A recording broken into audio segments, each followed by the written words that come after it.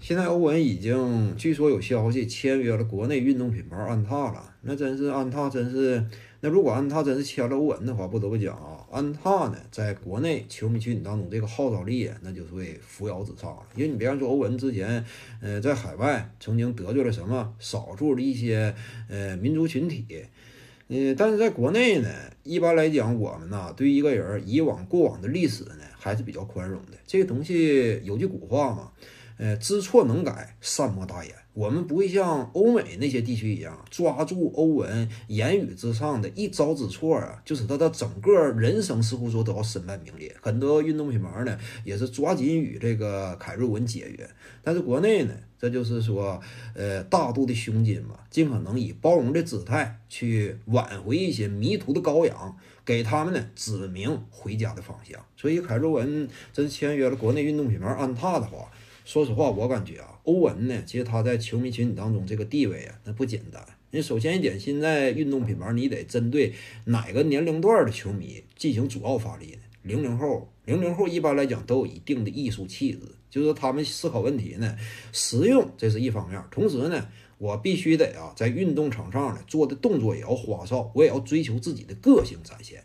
所以欧文考虑到他本身就是文体两块花嘛。原本呢，就用我之前那个一个知名 IP 德鲁大叔拍个电影呢，票房也大卖。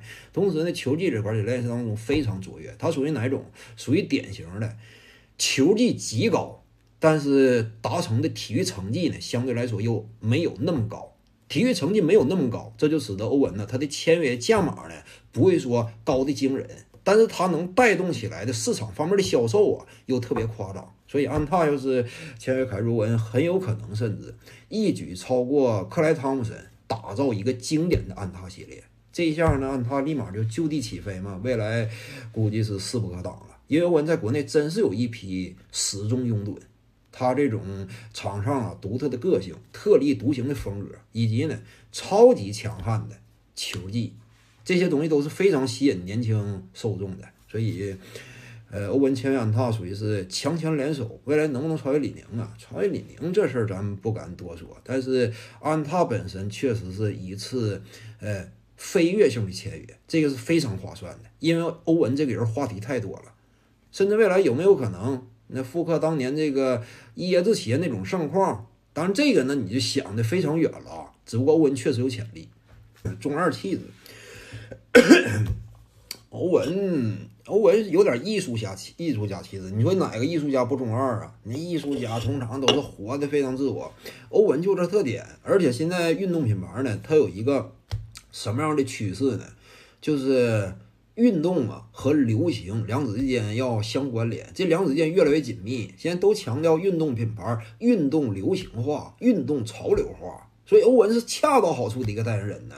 你说库兹马潮不潮呢？很潮，但是竞技能力水准太低，所以你要签库兹马，那这他在球迷市场当中没有号召力呀。而欧文呢，有足够的号召力，同时这个人个性这块又极具吸引力，这两者结合是非常绝妙。在现在这个时代，体育品牌里，欧文像这种类型代言人，比很多专门的体育领域之内的顶级球手啊还要更有价值。你比如约基，他是不是厉害？那没用啊！你厉害，但你性格这块儿，呃，太过沉稳了。你就不像说欧文有那么强的对于年轻市场的穿透力。所以欧文这笔签约绝对是非常划算。点赞加关注，感谢您的支持。